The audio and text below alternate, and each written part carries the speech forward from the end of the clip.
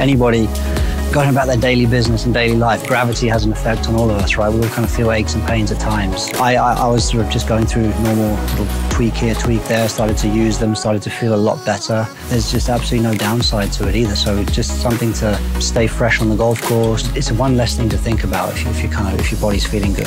Uh, so yeah, I had a scary moment back in May, just in the back garden with my boy playing football, and it was just an innocuous little thing that happened. I did a little turn and just went right over the top of my ankle and heard a big crack and just elevated my foot, patched up immediately. It was quite interesting the next day. I could see the swelling uh, or the discoloration around my foot and where I had the patch, there was a significant less discoloration.